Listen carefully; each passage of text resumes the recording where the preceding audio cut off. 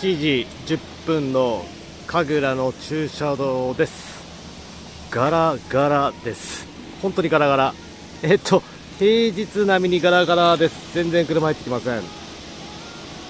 レッスン初日で土日でかなり混むと思ってましたがマジでガラガラです。全然余裕です。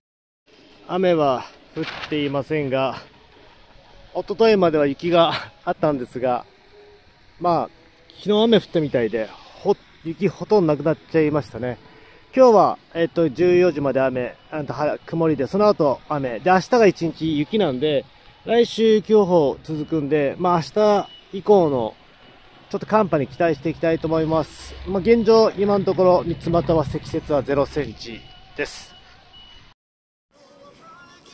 ここから見ると、神楽方面は別世界ですね。はい。今向かってます。キャリーサービスで向かってます。